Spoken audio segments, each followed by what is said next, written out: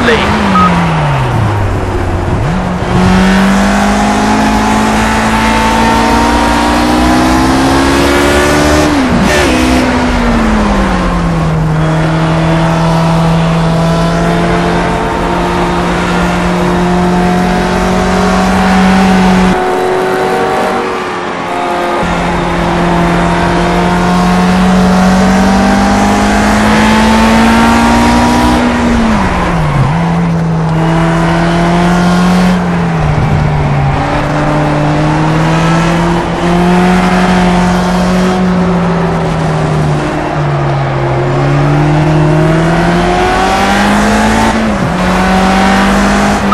by one second. Try and push the gap open.